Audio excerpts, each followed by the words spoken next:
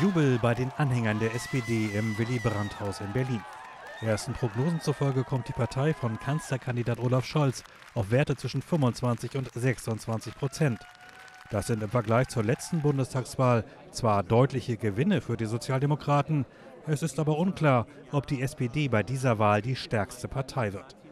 Auch die Regierungsbildung, so viel ist schon jetzt klar, wird voraussichtlich schwierig und langwierig.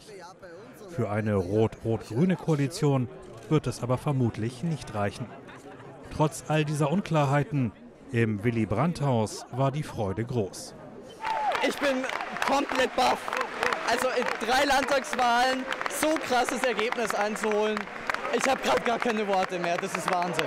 Und weil wir das Beste für dieses Land sind, weil Olaf Scholz der beste Kanzlerkandidat ist. Ich finde es wunderbar und die ganze Arbeit hat sich gelohnt und eigentlich haben wir auch damit gerechnet, muss man mal wirklich sagen.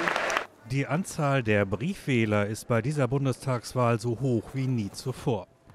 Mit Spannung wird darauf gewartet, wie sich dies möglicherweise auf das Wahlergebnis auswirken wird.